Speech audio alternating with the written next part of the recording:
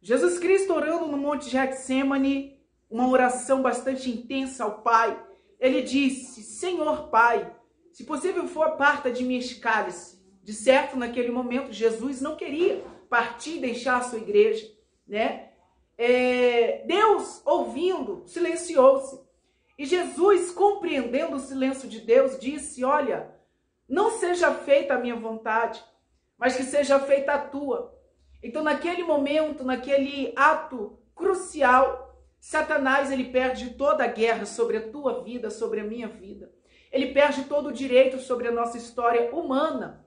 Jesus nos comprou. Jesus ele disse: Aqui estou, eis-me aqui, deixai-os ir.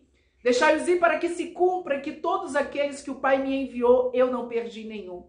Eu quero dizer para você nesta mensagem que Jesus não abrirá mão da tua alma.